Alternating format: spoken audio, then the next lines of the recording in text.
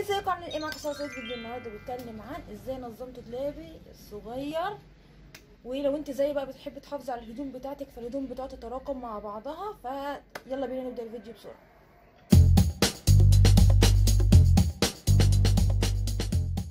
تمام. أول نقطة كده بالنسبة لي أنا ليه رتبت دولابي بعد العمر ده كله؟ ما هو أنا لو إنسانة منظمة من الأول كنت نظمته من أول ما عملت الدولاب. فأكيد واجهتني مشكلة. إيه بقى هي المشكلة دي أصلا؟ المشكلة دي إن أنا كنت في يوم نازلة رايحة مشوار مستعجلة مظبطة الجاكيت والقميص والطرحة وأدور على البنطلون. أنا مش لاقية البنطلون. قلبت عليه الدولاب كله لدرجة إن أنا طلعت الدولاب كله. على الأرض زي ما ساعات بنعمل كتير وقعدت أدور على البنطلون وما لقيتهوش. في الآخر خالص رحت إيه لبست أي بنطلون كده بس طول. طول يعني طول اليوم بقول هو البنطلون ده راح فين؟ في الآخر خالص بقى وأنا راجعة أنا لقيت البنطلون كان منشور. يعني أنا كنت غاسلاه وناسية. هو ده أنا يعني. بس أصلا الأصل إن أنا لو إنسانة منظمة كنت عرفت إن البنطلون ده مش في الدولاب أصلا بدل ما كنت طلعته. المهم أنا لما طلعت الدولاب ده كله على الأرض قلت لأ أنا لازم بقى هرجعه بس منظم.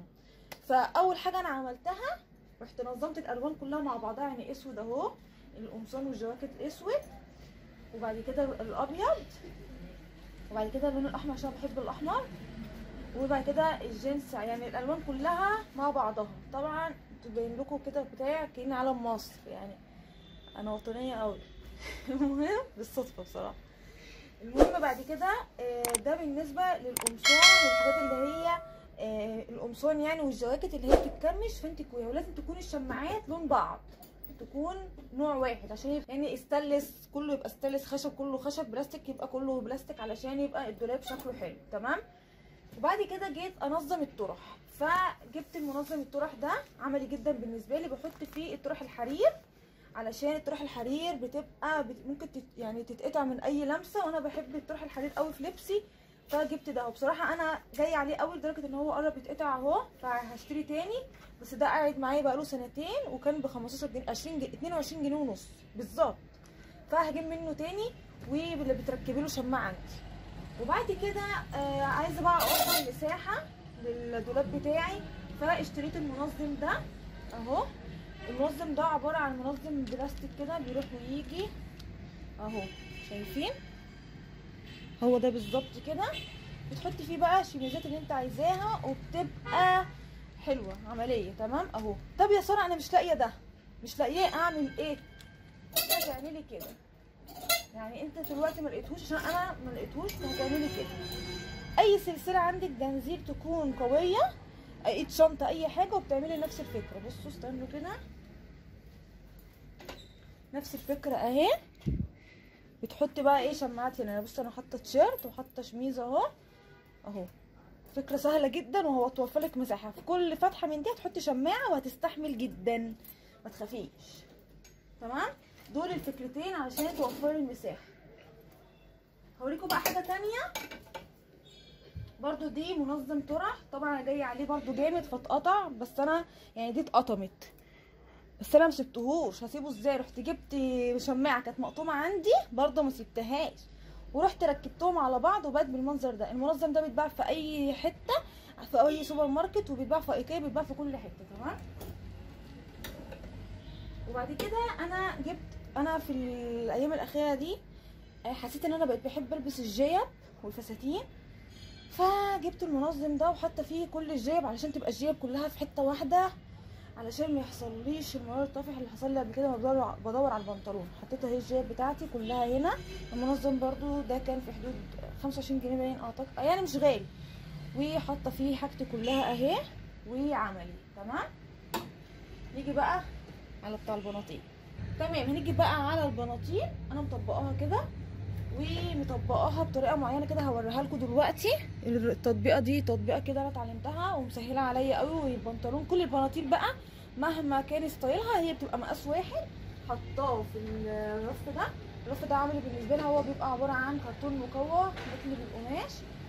ف بيستحمل معايا وهجيب منه تاني علشان حسيت إن هو لو جيت عليه كتير أو حطيت عليه حاجات كتير يعني الحاجة لو زادت عن حدها بتتقلب لضدها دي حاجة معروفة فما نجيش على الحاجة. بس هو حلو وكان سعره كويس لو لقيت منه تاني هشتري بس هو موجود يعني بس أنا ما دورتش تمام؟ هنيجي بقى على الجزء اللي تحت في أرضية الدولاب ودي مشكلة كبيرة قوي بالنسبة لنا بيبقى عميق وفي نفس الوقت إحنا مش عارفين ننظم فيه الهدوم. فأنا جبت اتنين box box حطيت فيه التيشيرتات و box حطيت فيه الشميزات. ده شميزات وده آه تيشيرتات تمام؟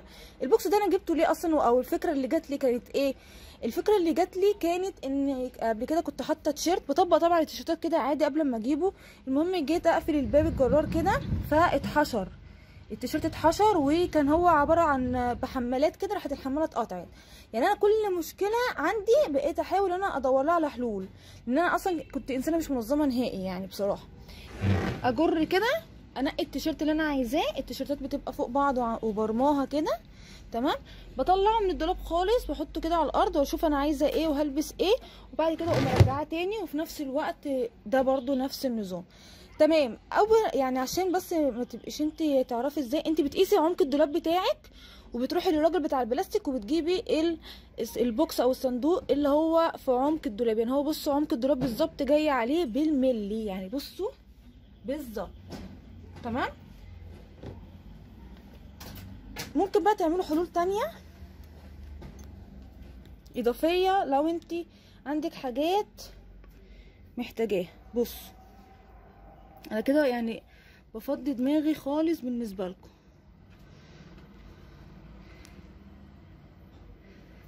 شايفة انت المسافة دي؟ المسافة دي مثلا آه، عشرة سنتي أو لأ خمستاشر سنتي مثلا تمام؟ المسافة دي بيبقى فيه زي ارفف كده بتت- بتتعلق بتبقى بت- بيستخدموها للمطبخ بتتعلق كده وبتدخل في رف المطبخ. انت ممكن تجيبي الارفف دي تحطيها هنا وتحطي فيها مثلا الشرابات أو بقية الطرح بتاعتك أو الحزمة أي حاجة أو تيشرتات أي حاجة يعني بتاعتك ممكن تحطيها على الأرفف دي. تمام؟